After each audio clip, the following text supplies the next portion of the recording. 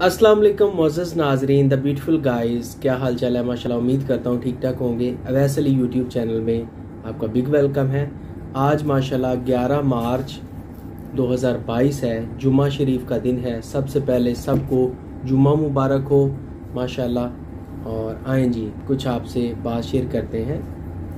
Friday the best day of the week माशाल्लाह माशाल्लाह सुबहान अल्लाह। जुमा मुबारक।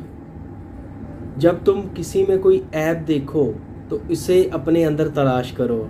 अगर इसे अपने अंदर पाओ तो इसे निकाल दो। ये हकीकी तबलीग है। सुबह अल कुरान कुरान शरीफ के हवाले से भी वीडियो मैं आपके साथ शेयर करूँगा। माशाल्लाह, आज जुमा शरीफ का दिन है तो वो तो मेरा मामूल है, अल्हम्दुलिल्लाह पाक के करम से।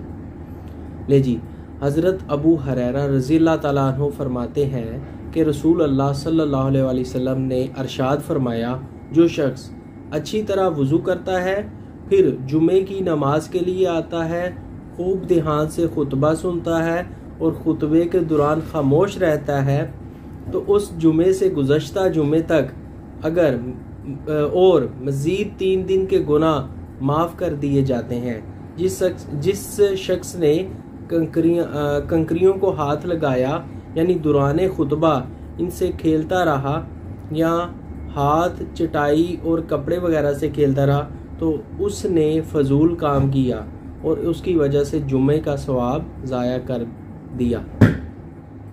यानी कि अपना सवाब ज़ाया कर दिया। तो खूब ध्यान में रखें कि खुतबा शरीफ के दौरान मतलब बंदा करता है ना, ऐसे कर लिया या ऐसे, वो थोड़ा एहतियात बरतें। बिसमीम हज़रत अब्दुल्ला बिन मसऊद बयान किया किया कि एक शख्स ने नबी करीम सल्लल्लाहु अलैहि वसल्लम से पूछा, कौन सा अमल सबसे अफजल है? नबी सल्लल्लाहु अलैहि वसल्लम ने फरमाया कि अपने वक्त पर नमाज़ पढ़ना और वालदेन के साथ नेक मामला करना, फिर अल्लाह के रास्ते में जहाद करना, सही बुखारी। जी, माशाल्लाह माशाल्लाह, अल्हम्दुलिल्लाह। अल्लाह पाक के कर्मों, फजल के साथ बहुत बहुत प्यारी बातें आपके साथ शेयर की हैं, नाजरीन। आए बिस्मिल्लाह करते हैं। वक्त ज़ाया नहीं करते और अल कुरान मुलाजा करें। फिर उन पैगंबरों के बाद हमने मूसा को निशानियाँ देकर फिरौन और उसके दरबारियों के पास भेजा तो उन्होंने उनके साथ कुफर किया। सो देख लो कि खराबी करने वालों का अंजाम क्या हुआ। और मूसा ने कहा कि है फिरौन, मैं रब्बुल आलमीन का पैगंबर हूँ। मुझ पर वाजिब है कि अल्लाह की तरफ़ से जो कुछ कहूँ, सच ही कहूँ। मैं तुम्हारे पास तुम्हारे परवरदिगार की तरफ़ से निशानी लेकर आया हूँ सो बनी इसराइल को मेरे साथ जाने की रुख्सत दे दीजिए। फिर ने कहा, अगर तुम निशानी लेकर आए हो तो अगर सच्चे हो तो लाओ, दिखाओ। मूसा ने अपनी लाठी ज़मीन पर डाल दी तो वो उसी वक्त एक बड़ा अजदहा बन गई, और अपना हाथ गरीबान से निकाला तो उसी दम देखने वालों की निगाहों में सफ़ेद, बुराक, यानी रोशन हो गया। तो कौम फिर में जो सरदार थे, वो कहने लगे कि ये बड़ा माहिर जादूगर है। इसका इरादा यह है कि तुमको तुम्हारे मुल्क से निकाल दे। भला तुम्हारी क्या सलाह है? उन्होंने फिरौन से कहा कि फ़िलहाल मूसा और इसके भाई के मामले को मौकूफ रखिए और शहरों में नकीब रवाना कर दीजिए कि तमाम माहिर जादूगरों को आपके पास ले आए। क्या उन लोगों को जो अहले ज़मीन के मर जाने के बाद ज़मीन के मालिक होती हैं, ये अम्र मुजिब हिदायत नहीं हुआ कि अगर हम चाहें तो उनके गुनाहों के सबब उन पर मुसीबत डाल दें और उनके दिलों पर मोहर लगा दें कि कुछ सुन ही ना सकें। ये बस्तियाँ हैं जिनके कुछ हालात हम तुमको सुनाते हैं। और उनके पास उनके पैगंबर निशानियाँ लेकर आए, मगर वो ऐसे नहीं थे कि जिस चीज़ को पहले झुटला चुके हों, उसे मान लें। इसी तरह अल्लाह काफिरों के दिलों पर मोहर लगा देता है। और हमने उनमें से अक्सर लोगों में अहद का पास नहीं देखा। और उनमें अक्सरों को देखा तो बदकार ही देखा।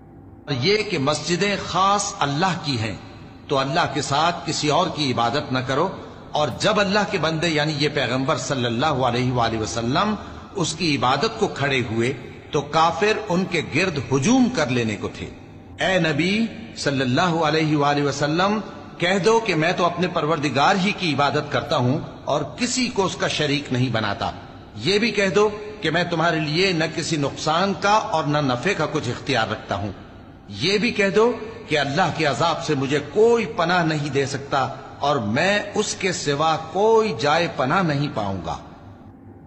नेकी, यही नहीं कि तुम मशरक व मगरिब को किबला समझकर उनकी तरफ़ मुँह कर लो, बल्कि नेकी यह है कि लोग अल्लाह पर और रोज आखिर पर और फरिश्तों पर और अल्लाह की किताब पर और पैगंबरों पर ईमान लाए और माल बावजूद अज़ीज़ रखने के रिश्तेदारों और यतीमों और मोहताजों और मुसाफिरों और मांगने वालों को दें और गर्दनों के छुड़ाने में खर्च करें और नमाज़ पढ़ें और सकात दें और जब अहद कर लें तो उसको पूरा करें और सख्ती और तकलीफ़ में और जंग के वक्त साबित कदम रहें।